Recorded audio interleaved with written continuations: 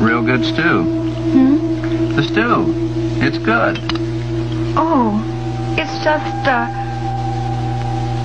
Well, actually, it... Sure has got a lot of beef in it. Hmm? It's got a lot of beef in it. Mm-hmm.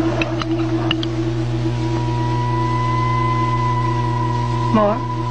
Yeah. I guess beef stew is a lot of work. Well, not too much. But maybe we could have it a little more often. Sure. You know what?